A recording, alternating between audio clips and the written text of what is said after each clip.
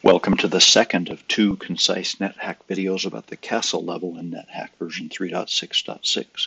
The concise NetHack videos show you what you need to know about specific NetHack areas without wasting your time.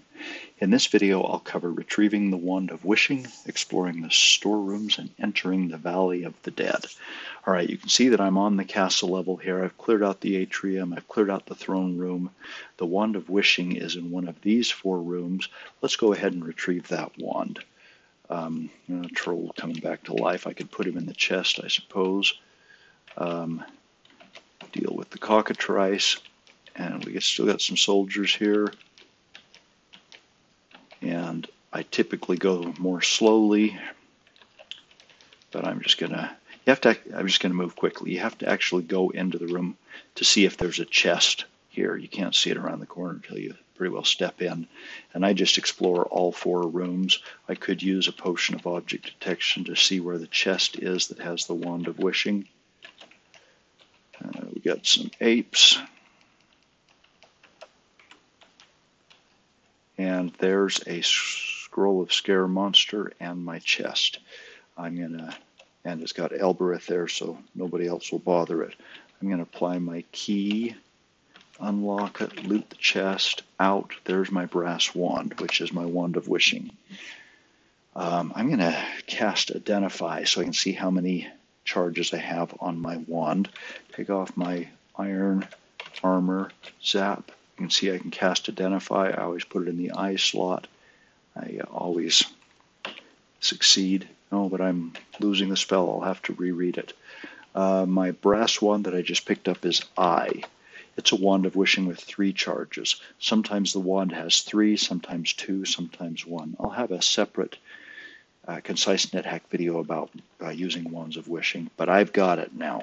All right, get dressed again and kill the tame monster. And I've got the wand. I could go explore these, but for brevity, the sake of brevity, I won't do that now. Um, don't want to kill the troll while he's on my throne, even though he'd probably come back to life. All right, there's a chest. I deal with the chest the normal way. I'm going to kick that door down because I'm not afraid of waking things up. This corridor here has, I believe, four pit traps along it. Those pit traps are the only way to go down into the Valley of Dead because you'll notice even though I've cast magic mapping, I can see an up staircase here. There are no down staircases on the level.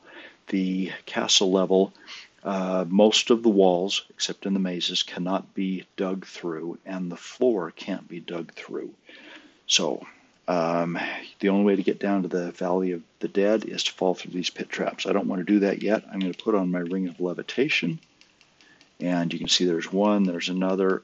I got a giant there throwing potions at me. Um, I can actually push these boulders into the pits. That will fill them up. Um, I could redig the holes afterwards. Um, I think what I'll do for now, remove my ring, push that into a pit. You know, just break that one Wield T, wield A, Shift X, two weapon. Now I've got dragons. I'll push that into a pit for now as well. Uh, let's kill the dragons. I'm going to kick the doors down. Um, okay, my black dragon just zapped disintegration at me. There was another dragon here, I think, and he may have just disintegrated it. Yeah, the gray dragon is disintegrated. Thank you, black dragon. Um, I typically like to eat one black dragon per game just to get disintegration resistance, even though it's rarely needed. Um, it's hitting me reflecting. All right, I've killed. I killed two of the dragons. Black dragons disintegrated the other two. Let's look at the storerooms. I'm going to search for the hidden doors. 22 search kick the door down. This is the food storeroom. There's typically not a lot of good stuff here. I'll keep a tin in case it's spinach. I'll identify it later. Now the armor storeroom may have some good armor in it or some magic armor. Helm of telepathy. I'll use that for poly, uh, polypiling. Let's see what I can stick uh, in. Uh, I can I, I got to stash some stuff in my bag because I am out of spots. I'll put the wand of wishing in for now as well. All right, so now I can pick up, don't need a chainmail. Most of this is junk. Okay, nothing else there is important to me. I got two more storerooms. Um, okay, I got gems. Typically they're junk, but there is often one or two or three good ones. I got a ruby, a jacinth stone, worthless, worthless. There's a sapphire. So I got three good gems out of there. I keep all my gems. It bumps my score up at the end of the game. Uh, the the weapon storeroom. Sometimes you can get an artifact out of the weapon storeroom, so I check them all. Um, I'm going to go back and use that throne now to see if I can get a wish. You'll notice I didn't use a wish as soon as I found the throne because typically at this stage in the game I'm wishing for armor and I have on more than one occasion wished for something on the throne like a uh, gauntlets of power and then gone into the storeroom and found gauntlets of power there. So I always check out the armor storeroom before I wish. Put on my ring of levitation to get through, remove it.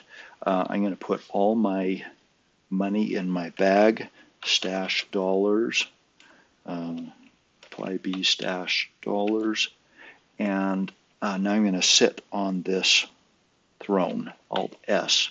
I feel repulsive, so it has damaged my charisma. I think if I use my unicorn horn, it's increasing it. It went down to seven. I'll keep applying my unicorn horn. When it says you feel better, it has improved the stat, but it hasn't improved it all the way. If it makes you feel great, all your stats are up to their maximum. I'll sit again, somehow out of place. It vanishes in a uh, puff of logic. Put on L, um, put on my ring of levitation. I'm going to push this and You'll notice out of the five, I guess, pit traps on this level, I filled three of them with uh, boulders. I could redig them out because I'm going to need them later on, but for now I'll just finish the level by killing the giant. Um, and now it's time to jump down through the pit trap by stepping on it. But I'll save that for another video. That's all I want to cover for now. I hope you've enjoyed this concise NetHack video about the castle level. Thank you for watching.